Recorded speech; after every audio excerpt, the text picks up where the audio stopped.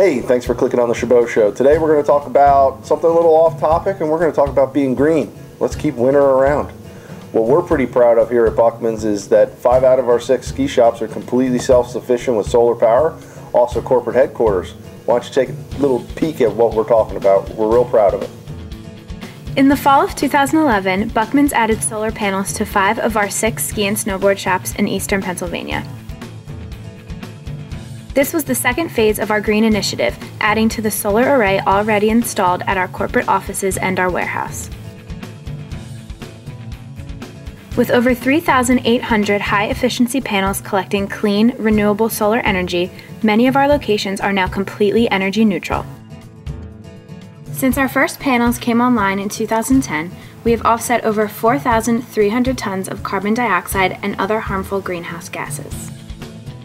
This is the equivalent of planting over 666,000 trees or saving enough gasoline to make 3,500 round trips from LA to Philly.